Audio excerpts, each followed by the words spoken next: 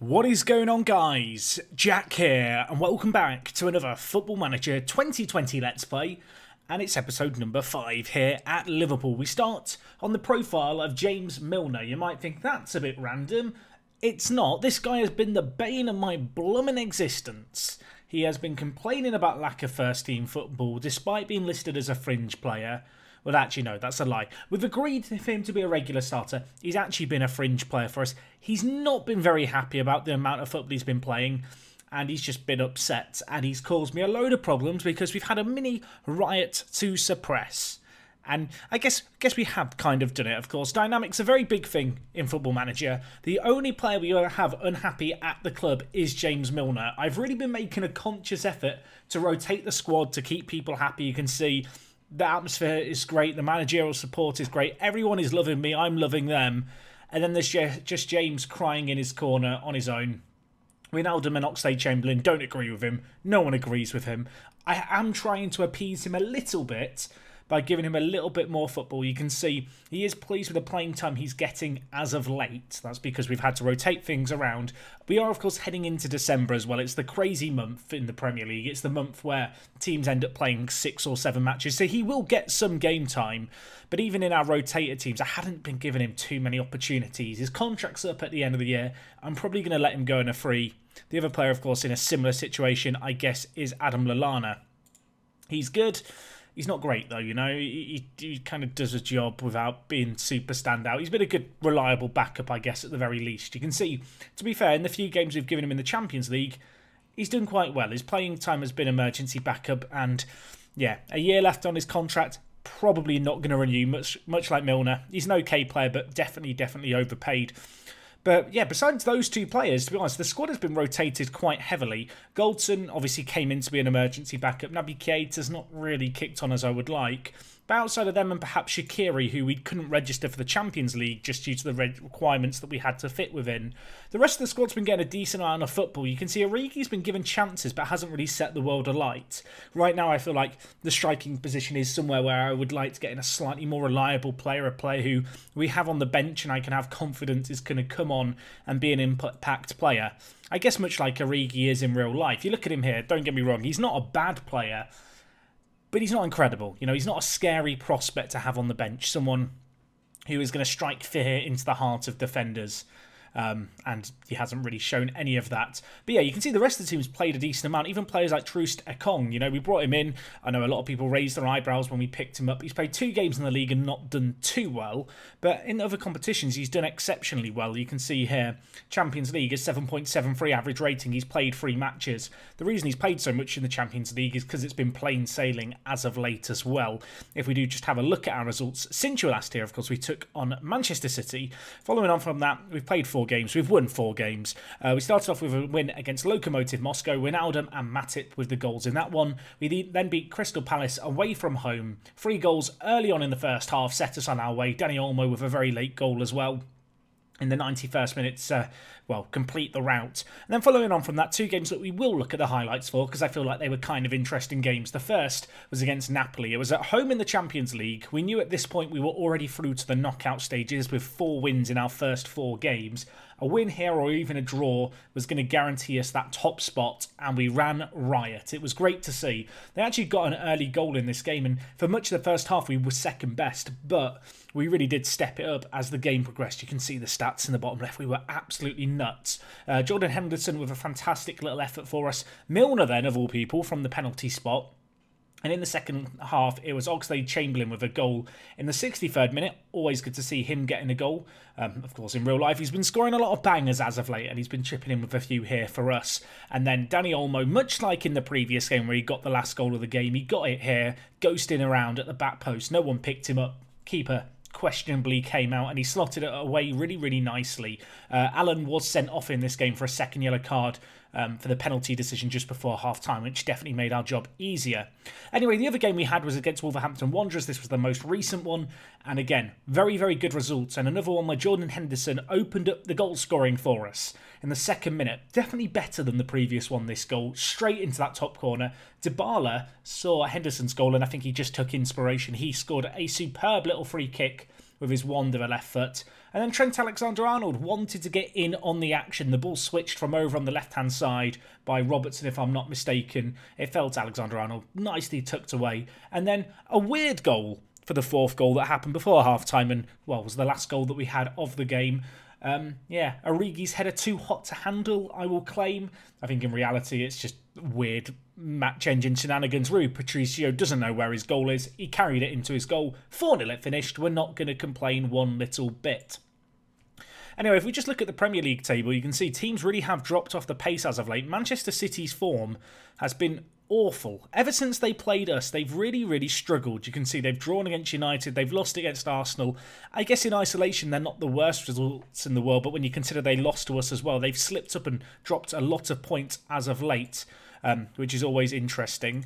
And then if we just look at other teams around us, United have actually come on a little bit and started to get a bit stronger. Chelsea have fallen away, but actually it's Arsenal who currently sit joint top with us on 32 points after 13 matches. Of course, Arsenal we have already played this year. We played them after the United game. I decided not to commentate this game just because at the time they were in fourth. I didn't really think that Arsenal were going to be our big rivals as things are turning out right now, they look like they could be the team that we are going to have to deal with. And we have got to play them in not too longer a period of time. It's going to be on the 15th of January. You can see here the World Club Championship has been penciled in. Um, it's going to be happening right before Christmas, which is, of course, exactly when we want to play. Assuming we do make it into the final of that competition, we will be playing nine matches in a month. So yeah, there's going to be plenty of rotation. Milner's going to get that football he is craving, and maybe Connor Goldson will get an appearance or two. Of course, he was really just brought in as an emergency backup. But um, yeah, I want to claim he's done a great job since he joined us. He hasn't, because he's just not played. Anyway, in terms of what the board are saying about us, of course, we've been at the club a decent period of time now. They're getting a feel for exactly how things are going. You can see happy with how we're going, delighted with the attacking football, delighted with the entertaining football as well. We have been, you know, scoring goals for fun, of course. Um, you can see here, satisfied with our kind of goal, you know, of signing under uh, a well under 23 year olds for the first team. Elsewhere, we're working within the wage budget. We are still on course to get to the Champions League semi-finals. We have now definitely won our group, and winning the Premier League is still very much, you know, a, a real possibility, I guess, at this point. You can see very, very happy in general with lots of bits, but the club vision is looking superb. If we look at match performances, just lots of A's here. I, I really have enjoyed with FM20 coming to this screen and then just enjoying reading, you know, the exact positive and negative breakdowns. You can see a distinct lack of negatives here. Um, but then you look at the amount of gut shots we're having every game. It's kind of crazy. We didn't actually have as many against Palace as some of these other matches. I think 46 might be our record. Um, I still think the FM match engine needs a little bit of work, but right now we're reaping the rewards, I guess, of how it wants you to play. You can see here how the fans and the board uh, are rating our transfers. Connor Goldson is the one that's a big fat F, but outside of him, largely, you know, reasonably positive. Uh, Dybala's been absolutely incredible, as you would hope.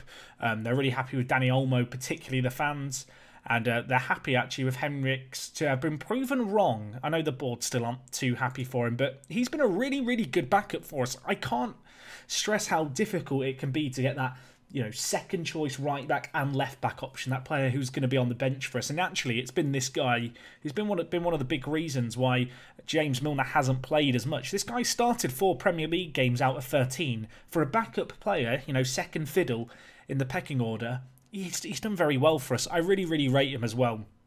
We're training him to play left back, but yeah, you're not going to get much better of kind of backup option on the bench. You can play a real variety of positions compared to Benjamin Henrichs here. So um, yeah, I really can't stress it enough. I, I'm I'm becoming a big fan of his and uh, you know he really does deserve his spot on the bench. Anyway, one other bit of news before we get into today's game, which is going to be against Chelsea, and I'm hoping I'm going to be able to get the news item for this. But we are leaving the EU. Brexit has happened, and it's happening on the 31st of December 2020, um, which is still a year away, but. That, that's the way these things happen. Brexit's still ongoing in real life. I'm not going to get into politics, but it's it's a bit of a shit show, isn't it? Um, but you can see here, pardon my French, uh, you can see here um, there's going to be a new registration rule basically brought in where you have to use seven, well, you have a limit of 17 foreign players.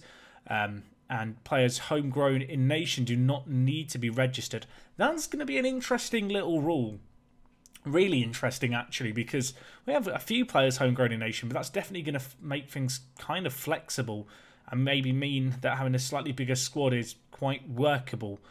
But um, yeah, we'll have to see how that plays out for us. But I do think that those rules are going to be quite good for us longer term. Of course, not coming in for a year.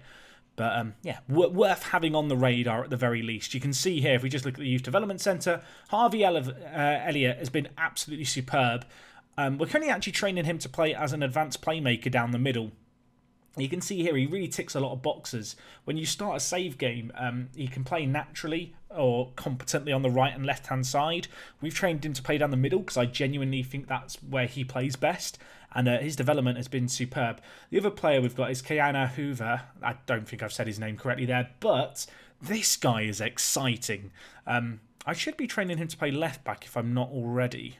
We're training him to play right back. I'm going to train you to play left back as well because this guy, much like Henrichs, I can envisage being that very, very versatile defensive option. Um, obviously, he can already semi-play left back, so we're not going to be too detrimental to his current ability by training him in another position. But you can see here the improvements have been superb. And if we look at the kind of um, overall ability progression graph, we've had this lovely little spike as of yet, uh, or uh, as of late rather. Um, but yeah, he's just improving a lot. I love this new progression system with these graphs. They're just satisfying to look at, you know. It gets me excited. I see a player get a little spike up and I'm thinking, "Oh, I need to I need to see exactly how they're getting on." Of course, we haven't got any news on our youth candidates yet, but if I'm not mistaken, this starts to update around December. So come next episode, we may well have a load of news regarding the next generation of Liverpool players to look forward to. Anyway, shall we get into today's game? It's against Chelsea. Full strength team is on show, which is great. A few players lacking a little bit of fitness. Um, the Wolverhampton Wanderers game was only half a week ago, and you can see following on from this game, we've got games against Newcastle, Bayer, and Norwich. Worth noting that game against Bayer in the Champions League is a nothing game as far as we're concerned. We've already won our Champions League group, so I will probably just play a B team in that game and not worry about it too much. You know, we can have a little bit of focus on the upcoming league games, which is good news. You know, it, it, uh, the Champions League is always a bit tricky. It's in an ideal world, you know, you have it wrapped up as early as you can, and we've managed to do that.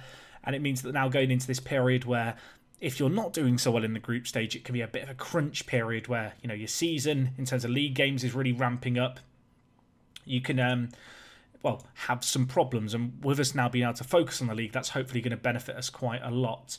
Um, I realise here I accidentally skipped all the pre-game stuff. My mouse sometimes double clicks. So we'll sort that all out quickly as Firmino heads it wide. But yeah, let's see how we get on here. Away from home against Chelsea, not going to be easy, but so far we are on top. And Van Dijk leaps like a salmon. Unfortunately, he heads the ball into Plan B. Um, yeah, couldn't couldn't couldn't quite get it on target there. What is Alisson going to do for us? He's been great, by the way, Alisson, since he's come back. I really can't pick too many faults in his play. We've not been amazing defensively, but when you look at the league and the fact that so far this season there's been one game all year where we've not scored, it's hard to be too critical of our attacks. And maybe you look at our defence and go, maybe you could do more. Although, I don't know, when you look at the style of football we play, when you look at the formation we've been playing and the success we've been having with it, um, I think you kind of have to accept that you are going to leave yourself open at the back. As Firmino has kind of a chance here, dealt with initially, unselfishly tried to you know keep the ball alive and keep the attack alive. Unfortunately, just couldn't quite pick out a man, and while well, the initial chance squandered, we couldn't make anything more of it. Ball switched here to Robertson now. Plays it to Dybala, who really has become that all-important player in our team. I feel like the dream I had in my mind as we came into FM20 of kind of having the four musketeers up front, it's become a reality. It really has. Um, I know last episode I talked about the Firmino departure. Um, being an opp- like a thing. Uh, I have been looking to renew his contract as Salah scores against his former club. But yes, with Firmino, little update. Um, I went to offer him a new contract just to see if he was interested in renewing. You know, you've got PSG interested, Thiago Silva's coming out in the press. He's told me, yeah, Gaffer, sorry, not interested in signing a new deal. He's got four years left on his current contract. The media have been quoting PSG uh, potentially being willing to offer 108 million pounds. I know a lot of people are kind of like, no, you can't sell Firmino, but to me, I feel like 108 million pounds for a 28 year old striker. And don't get me wrong, I will try and squeeze every last penny out of PSG. But it might be a little bit difficult to ignore if it came in. And I have been making a short list, a draft list of kind of players who could be the successor. And that these are successors both in the mindset of do we want to bring in a striker to replace him, but also um, if we did let him go and maybe move Dybala up into the striker position, who could come in and be that new playmaker for us?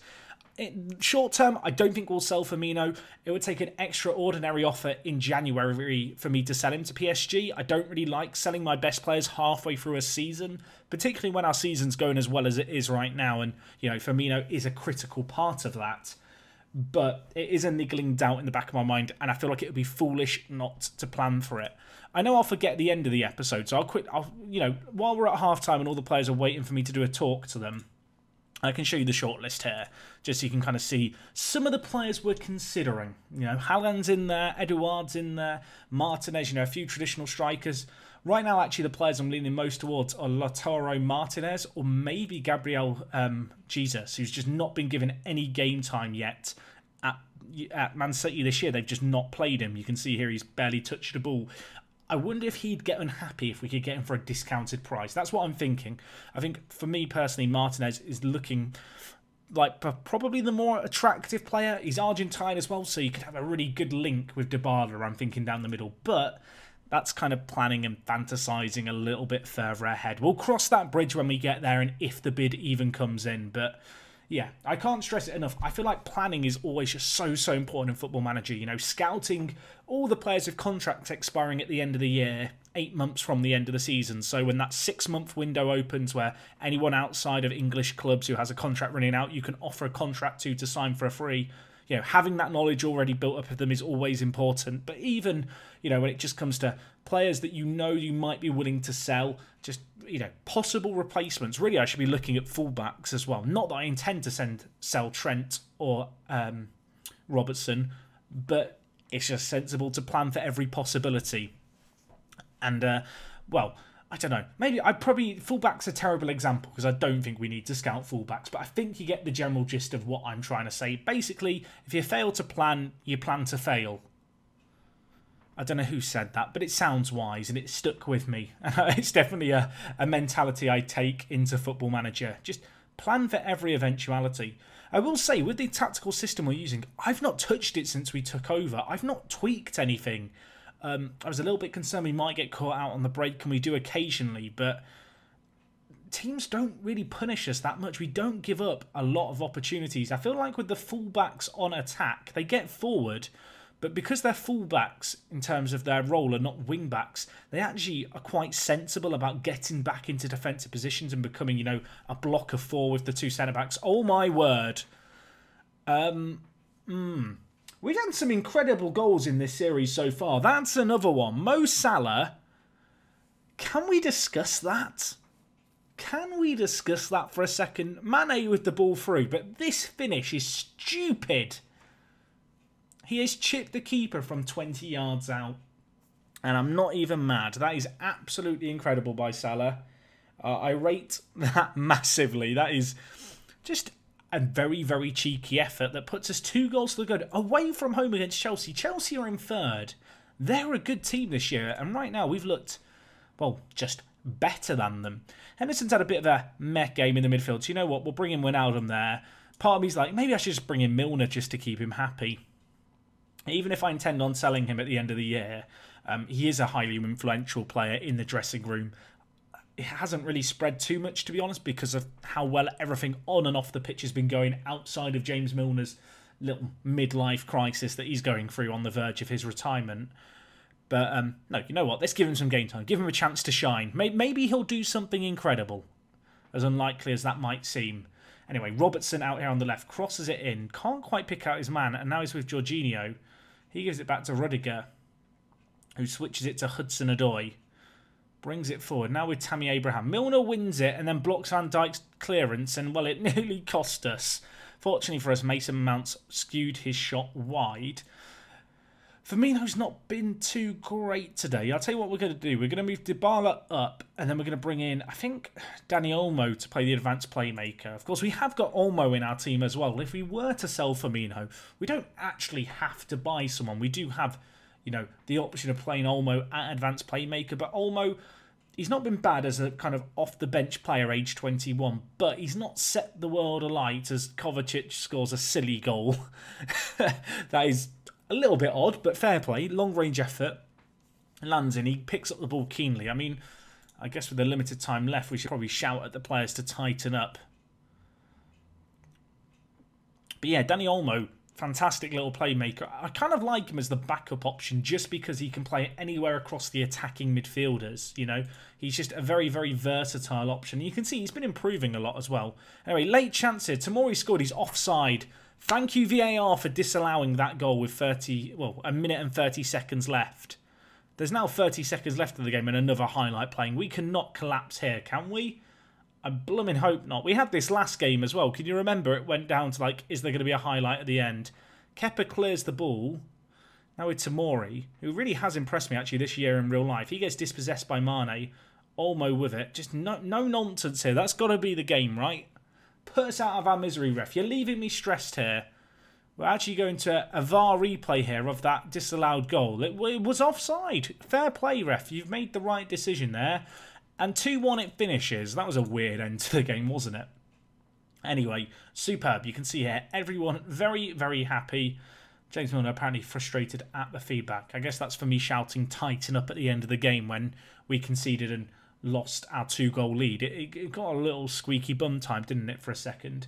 We've achieved the achievement, You're on fire. Is that 10 games won in a row? I think it is. And 10 games won in a row in all competitions is really, really good definitely happy about that. Not the crazy goal scoring that we've been used to in that 2-1 win, but hey, we, we got the job done, and Salah's superb finishing was actually the difference maker. He's opposed... I don't want to say he's disappointed me this year, but he's not been... He has been incredible, but he's not been that kind of, oh my gosh, he's the best player in the world level of incredible. You know, he's not stood out head and shoulders above everyone else, although that's kind of difficult, I feel like, to do with the world-class attack we have. But um, no, he, he has been superb. You can see here, Dybala leads the goal scoring, then it is Salah now. And if we look at average rating, Salah does have the highest average rating, to be fair. Robertson, by the way, 10 assists. Not bad for a left back, if you ask me. Trent on the other side, lagging a little bit behind. If you're a fantasy Premier League owner in this Football Manager universe that I'm managing in, I can only really apologise. I'm, I'm sorry that it's a one man show with the left back doing all the work for us. But anyway, that's going to wrap us up for today, folks. We are going to be capping things off there. I think next time we'll be back will be for the World Club Championship final if I decide it's an interesting game. We'll see who we get drawn against. It's going to be coming your way just before Christmas. We should know a little bit more about our potential youth intake, so that will be exciting. And in the meantime, there's still a few fairly big games for us that I am very, very keen to win. So yes, hopefully you've enjoyed this one. Do drop a like if you enjoyed the video. I'll catch you again next time. And uh, yeah, it is me, Jack, and I'll talk to you guys in a bit. I'm out.